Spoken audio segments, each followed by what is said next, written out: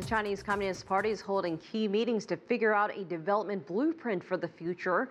The five year plan is an important document that guides the country's economic and social development. Yang Chengxi has more on the plan's impact on China and the rest of the world. As the Chinese leadership drafts the 13th five year plan, the world is watching as they set the GDP growth target.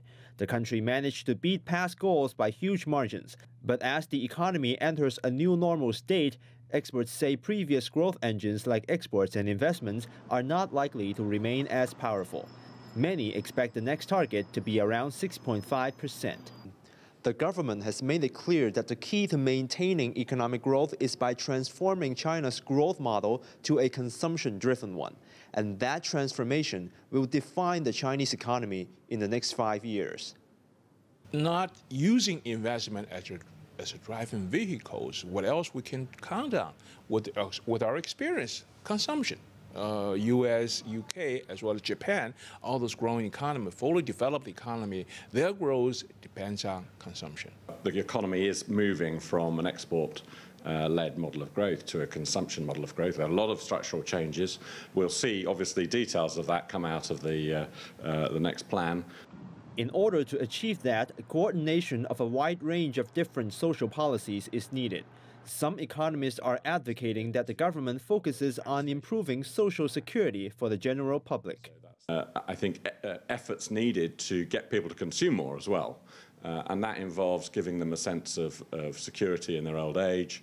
Uh, um, you know, we're trying to reduce the precautionary motive to save. I mean, that's uh, uh, a, a, big task, and it involves changing, you know, people's perceptions of what they may need and what they can rely on in, later in life.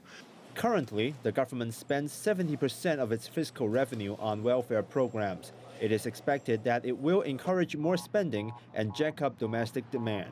Some economists are proposing other angles to boost consumption. When we want to have a consumption driven economy, we're really saying that more jobs, more employment driven for the economy. Now, remember that how to create more jobs, how to create more salaries, so on and so forth. And the interpretation, the translation is that it does not necessarily imply more investment.